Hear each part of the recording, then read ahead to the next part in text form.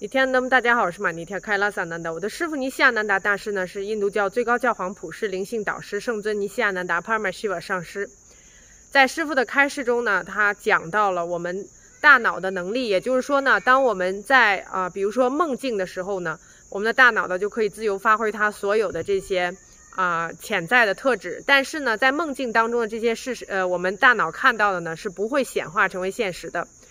与这个相悖的呢，就是当我们非常有觉知的时候，当我们呃非常非常就是觉醒的时候的这个状态呢，就是比我们现在比如说在清醒的这个时候更加清醒、更加鲜活的这样的一个状态的时候呢，我们在脑中看到的这些事实呢，就会成为我们的现实。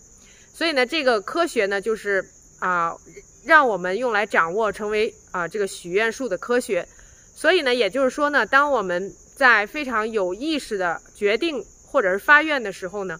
我们心中的这个蓝图呢，就会成为我们眼前的现实。这个就是宇宙的法则。所以呢，把这个再一次的讲给大家听呢，也可以协助大家去显化我们想要的现实。也就是说，如果你真的非常非常想要一个现实成为你的，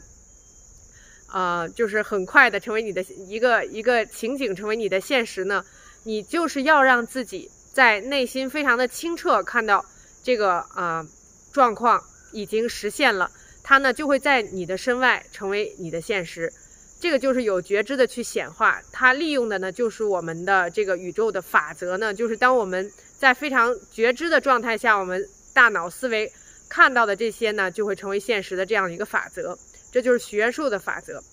所以呢，也希望大家都有意识的发愿，有意识的构建自己想要的理想的未来，用这个科学。我们呢都是显化的机器，只不过呢是我们现实每一天每一秒都在显化，只不过是我们啊是在一个无觉知的情况下啊造就了自己的现在，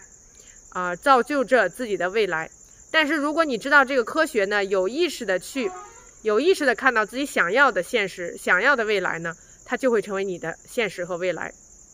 感谢大家收看这一期，马开拉萨的微信是幺四五九五零八七。如果你想要更多的了解尼西亚南达大师的教学以及开拉萨，可以跟马开拉萨联系。李天能登。